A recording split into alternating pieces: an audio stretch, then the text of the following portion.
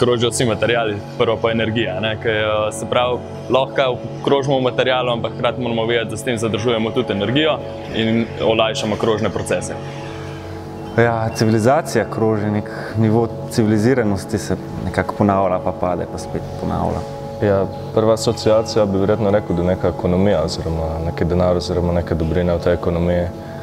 In je to neko izmenjevanje oziroma kroženje, oziroma moglo bi biti kroženje. Ne. Gibanje kot kroženje je tudi zanimivo, zaradi tega, ker se je ena točka vedno enako oddaljena od središča. Ja, meni se zdi, da najbolj krožijo pač stvari v naravi in mi moramo posnemati te procese, zaradi tega, ker če ne se sam nabirajo smeti, ki jih na eni točki ne bomo več mogli nikamor dati.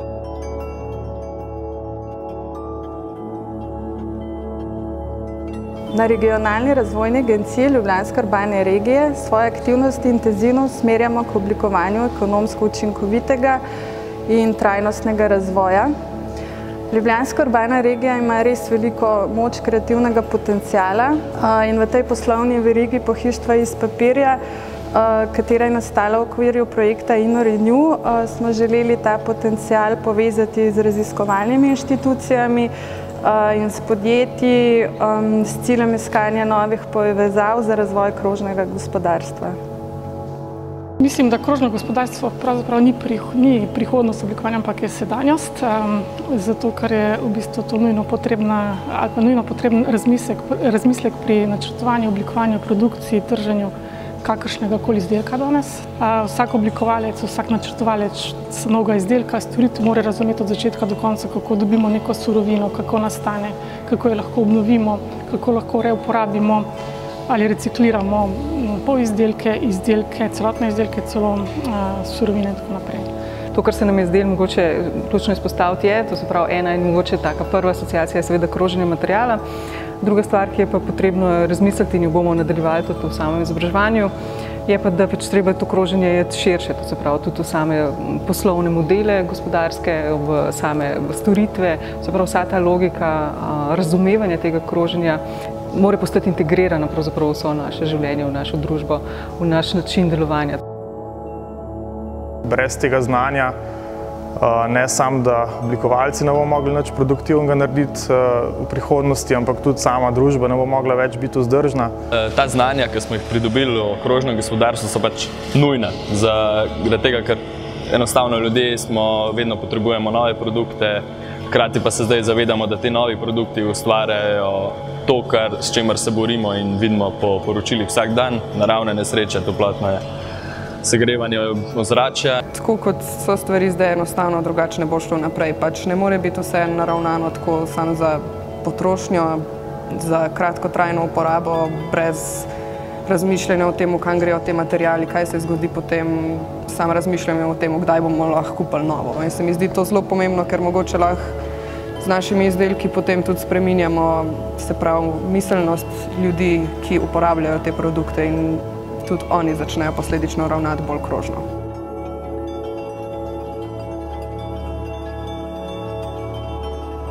Oblikovanje v papirju oziroma v tem primeru oblikovanja pohištja v papirju je pravzaprav klasična oziroma skoraj zimzelena naloga oblikovalska. Zdaj, kar ta naš projekt odstopa oziroma je na višji ravni kvalitetni, pravzaprav zaradi raziskave, kjer, so, kjer je bila napravljena zelo temeljito in smo iskali nove uporabniške možnosti za izbran material. In dejansko so rešitve pokazale kar veliko inovativnost na področjih, kjer bi lahko izbran material uporabljali.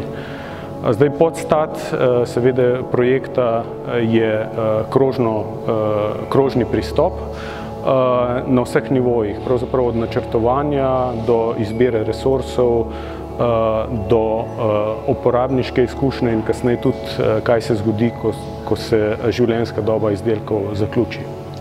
Ja, v bistvu ključna stvar je, bilo, je bil ta krok krožnega gospodarstva papirja oziroma ne, neke papirne industrije.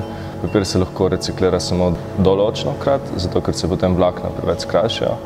In potem, ko papir tako šestkrat ali pa sedemkrat recikliramo, ga v bistvu iz teh celuloznih vlaken ne moramo več narediti papirja, ker so super kratka. in um, v veliki večini primerov se to zažge oziroma se to uporabi za neko gnojilo. Um, in potem sem pa iz tega speljal, da mogoče pa to še ni nekaj, kar bi tako uporabljali kot gorivo, ker je to res ena slabših možnosti. Uh, in, da, in raziskoval, če je mogoče iz tega možno narediti še, še kaj, uh, kaj drugega, no? kaj bolj uporabnega.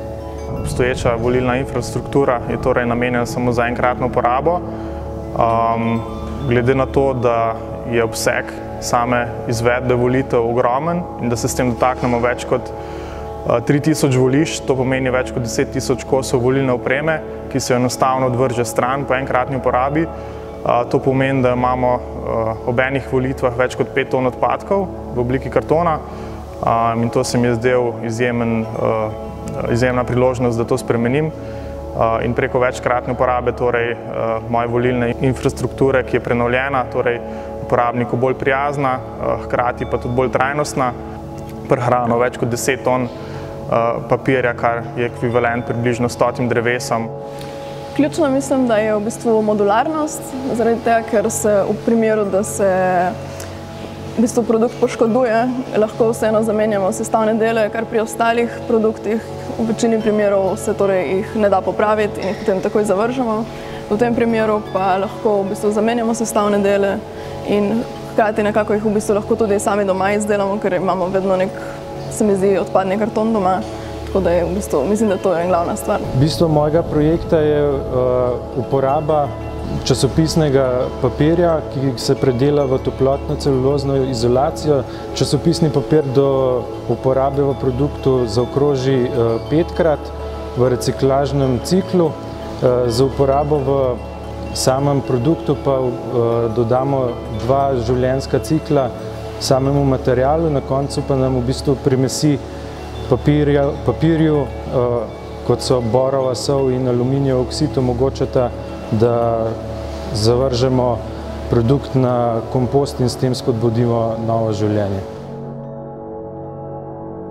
Poleg rezultatov, jaz mislim, da projekt uh, deluje tudi na nivoju sporočilnosti, kjer nagovarja uh, uporabnike, nagovarja družbo, in nagovarjamo prihodnost. Eh, Sprav, kako eh, bi lahko z boljšim pristopom v prihodnosti gradili boljše okolje in boljšo družbo.